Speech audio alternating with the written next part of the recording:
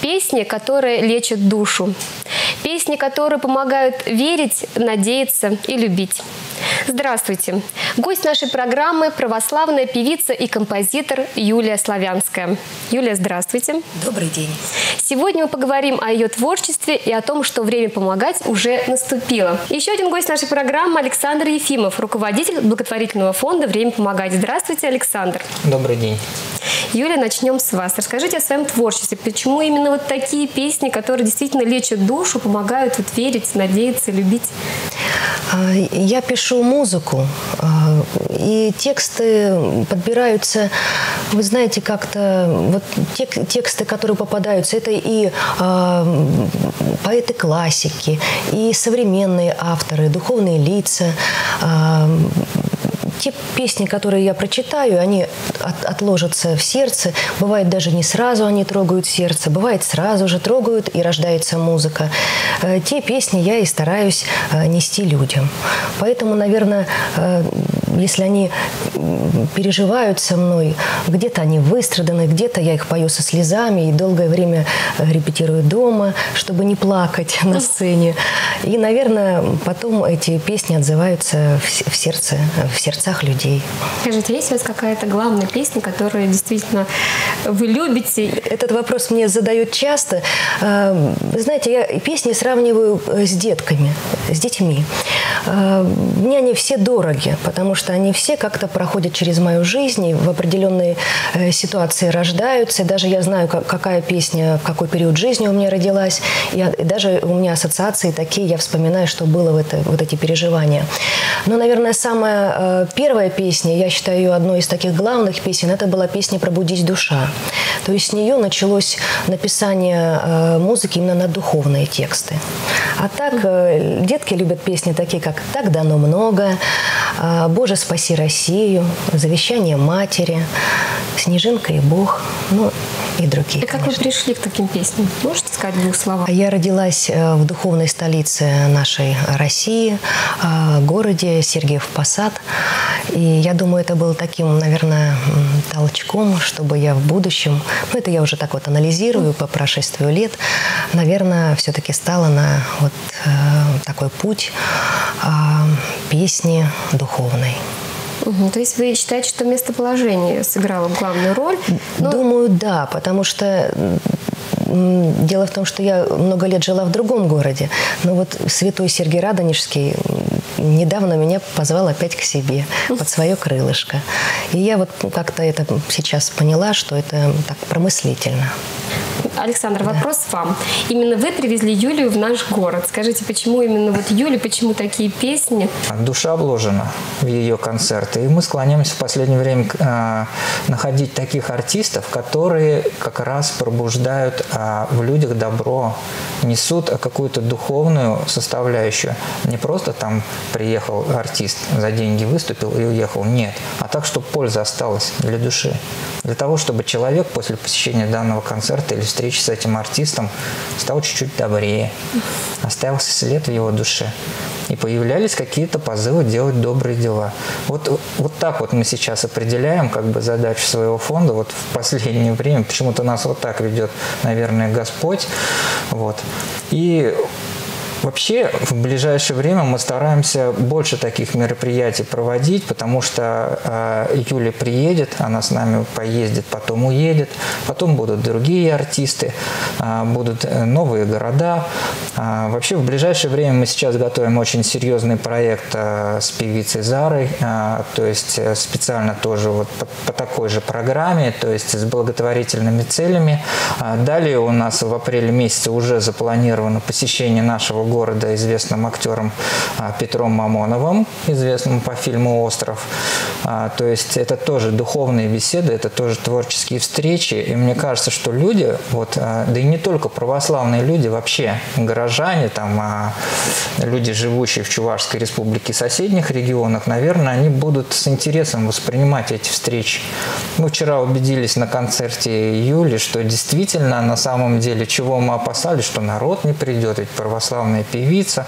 А, плохо народ. Да нет, почти полный зал, 800 мест, это же зал Лукса, почти полный был. Для нас это был вот это вот действительно результат.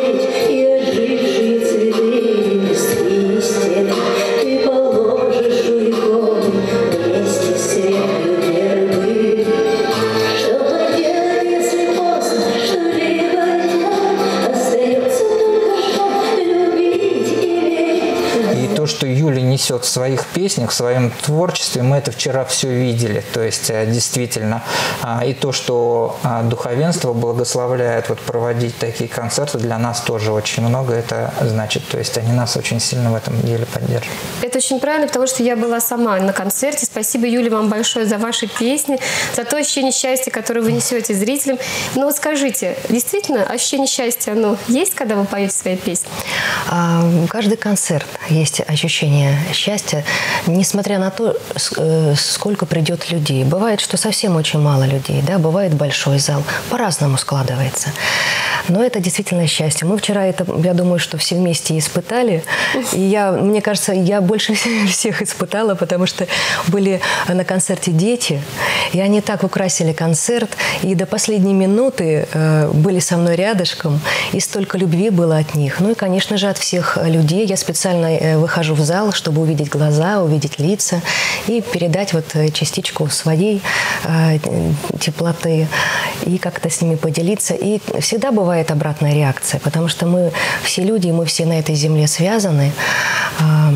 Поэтому это действительно было счастье. Я знаю, что вы занимаетесь благотворительностью, да? Расскажите вот об этом.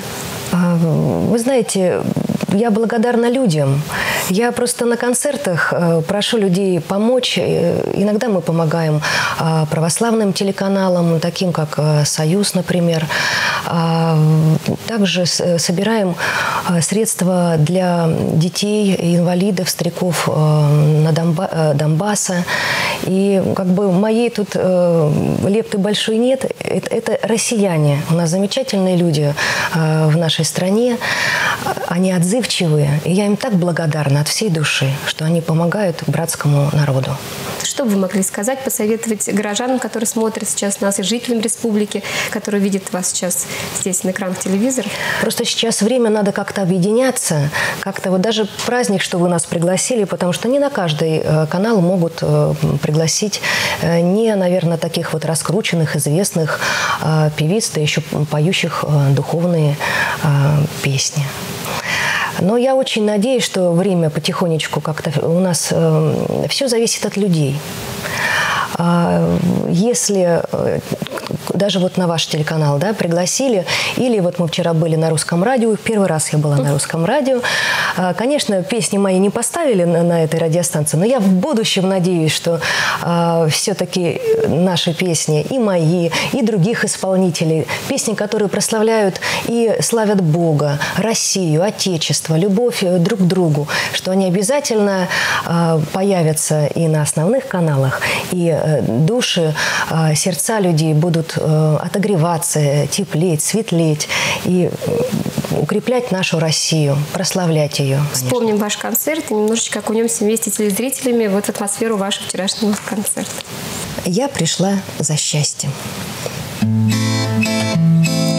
Я пришла за счастьем, вот мои ладошки. Боженька, ну жалься, поделись немножко. Людям очень важно с мыслью просыпаться. Что жива надежда, что нельзя сдаваться. Людям очень важно с мыслью просыпаться. Что жива надежда, что нельзя сдаваться.